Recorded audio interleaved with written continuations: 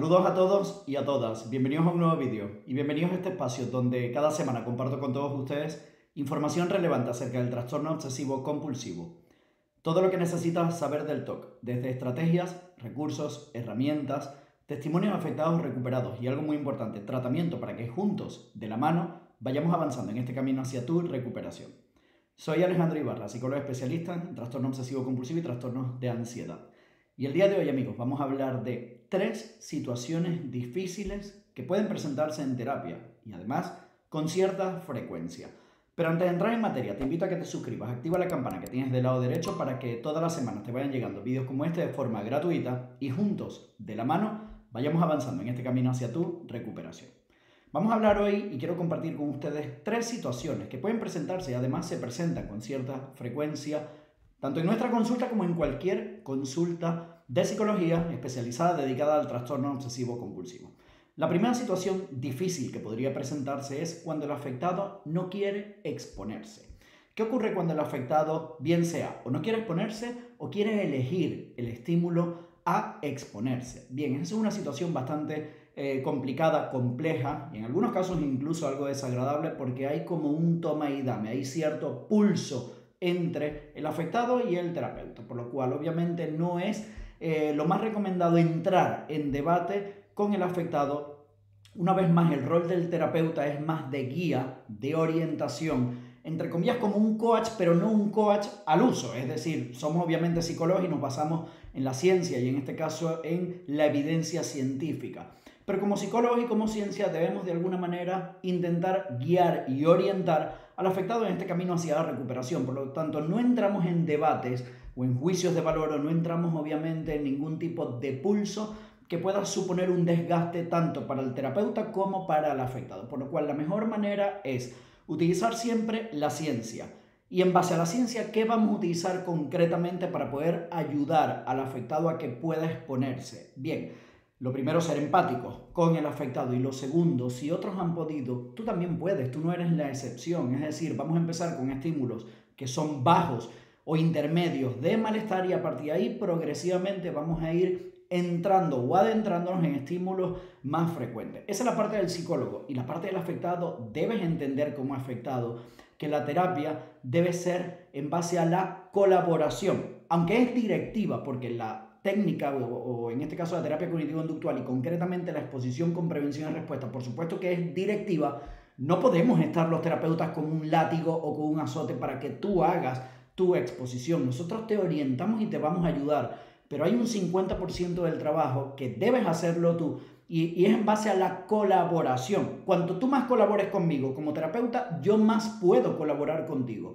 y de alguna forma, por supuesto, más y mejor voy a poder ayudarte. Por lo cual, la parte de colaboración para aquellos afectados que no quieren exponerse o que quieren estar cambiando, el estímulo sería déjate ayudar. Al fin y al cabo, esto forma parte, una vez más, de una relación ganar y ganar, es decir, debemos colaborar juntos para que tú puedas obtener tus resultados. Entonces, ese sería un poco el primer punto. Segundo punto y segunda situación difícil que muchas veces se nos presenta en terapia.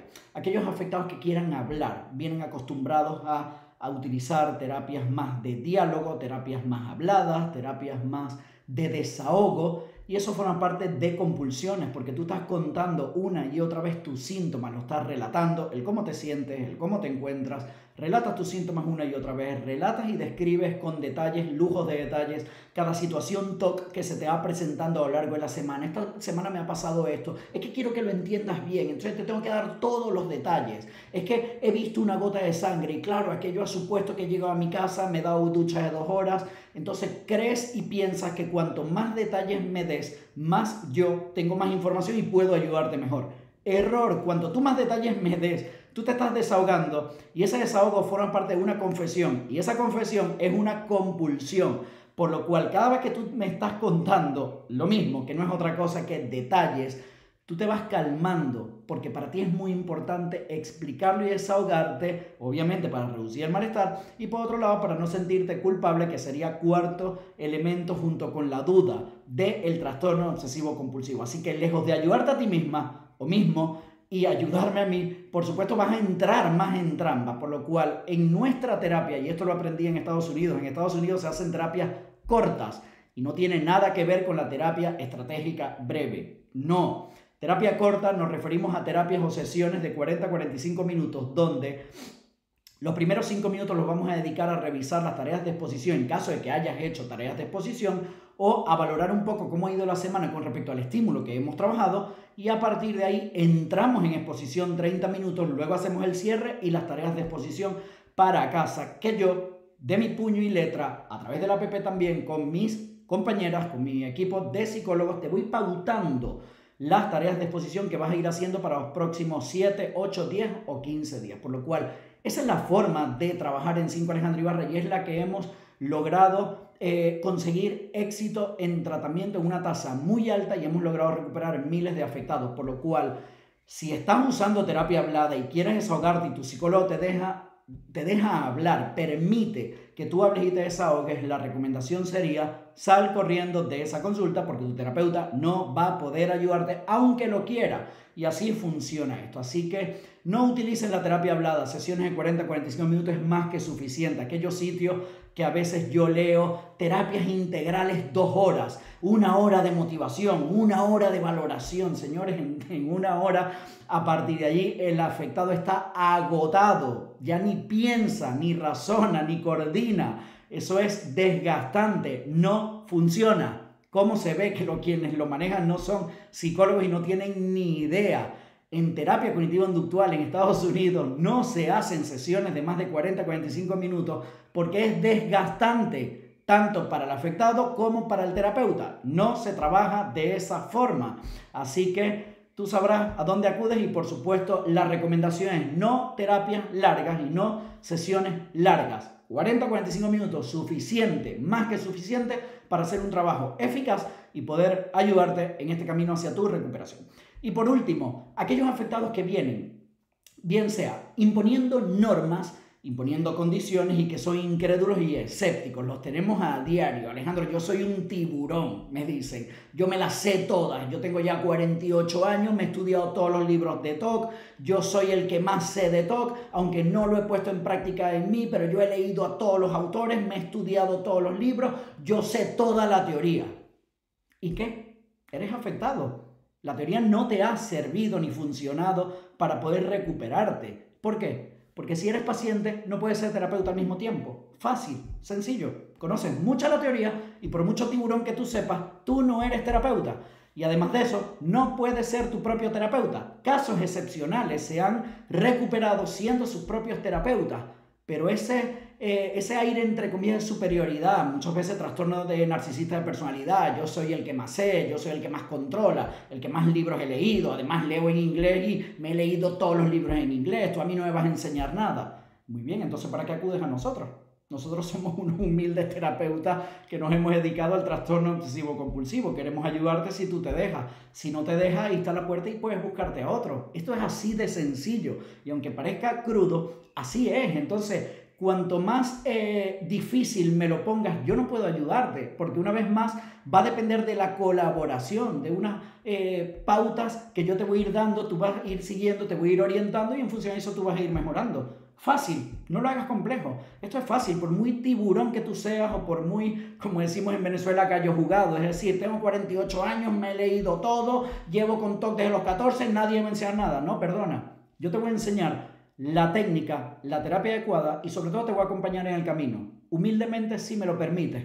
Y si no me lo permites, busca otro terapeuta que te ayude. Punto. Tú necesitas de mí y ya está. En el sentido de que si quieres que te ayude, debes colaborar. Y si no, no puedo ayudarte porque no me voy a desgastar en el camino e intentar convencerte de algo cuando tú me lo estás poniendo difícil. Funciona de esa forma. Esto eh, es muy importante porque los terapeutas como que estamos acostumbrados a que tenemos que rogarle al paciente. Yo te agradezco que hayas contactado con nosotros, pero tú tienes que colaborar y si no, yo no te puedo ayudar. Punto. Punto. Es que no te puedo ayudar, te buscas a otro. O sea que no vamos detrás del paciente. Nosotros te atraemos al camino correcto hacia tu recuperación. No vamos eh, pulseando, luchando para que tú me hagas caso. Si me quieres hacer caso y quieres seguir la pauta, te vas a recuperar antes y si no vas a tardar más tiempo en recuperarte. Punto. Es que no hay más. Entonces, eh, aquellos eh, afectados con ciertas edades, porque ocurre, ocurre en todas las edades, nos hemos encontrado chicos también de 18, 20 años con estas características que estamos comentando, pero es bastante más frecuente en afectados de 40, 50 años, incluso más o menos en esa media de edad, afectados muy escépticos, incrédulos, que vienen ya pulseando, intentando imponer normas pues no te puedo ayudar, búscate a otro, esto funciona así y esta es mi parte y así yo te puedo ayudar. Si colaboras podemos llevarlo a cabo y si no, simplemente no puedo hacerlo. Yo no puedo hacerlo por ti y no puedo convencerte. Mi trabajo no es convencerte. Esto es una ciencia, esto está más que estudiado, ahí están los vídeos, ahí están los testimonios de afectados recuperados, miles de afectados recuperados, si quieres te lo crees y si quieres pensar que yo me invento los testimonios, pues estás en todo tu derecho a pensar lo que tú quieras. Pero así funciona esto, total. Eh, necesitas de mí para ayudarte en este proceso de recuperación y en caso de que quieras acudir voluntariamente, ponérmelo fácil en el sentido de que haya una relación de colaboración, yo te voy a ayudar. Entonces, ojo con esto, que son tres situaciones bastante difíciles, muchas veces complejas y desagradables, que se presentan en consulta, pero que obviamente ya en mi caso, con 46 años de edad y con 15 o 16 años dedicado al trastorno obsesivo compulsivo, ya forman parte del día a día y muchas veces ya me lo tomo un poco más con filosofía, como se dice, es decir, ya no me afectan porque estoy obviamente bastante curtido de este tipo de situaciones, pero sobre todo en terapeutas jóvenes, parte de mi equipo que es joven o terapeutas que van comenzando, pues la verdad que puedes tener un gran mal día si te toca un afectado con estas características y vas a pasar una semana realmente mal. Simplemente lleva a cabo las pautas, recomendaciones que yo te doy y si eres afectado simplemente deja eh, ese ego a un lado y forma parte de una relación ganar y ganar donde si colaboras podemos ayudarte.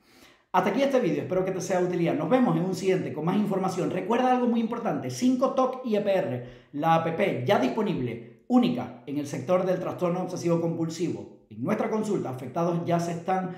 Eh, recuperando y sobre todo de alguna manera beneficiando de la utilidad de esta novedosa herramienta y técnica que no está disponible únicamente para Android y iPhone para afectados que están dentro de nuestra consulta. Es un beneficio y un valor agregado que le damos a aquellos afectados que han depositado nuestra confianza en 5 Alejandro Ibarra. Espero que también te sea de utilidad. Nos vemos en un siguiente vídeo con más información. Muchas bendiciones a todos y cuídense mucho. Un abrazo a todos. Chao.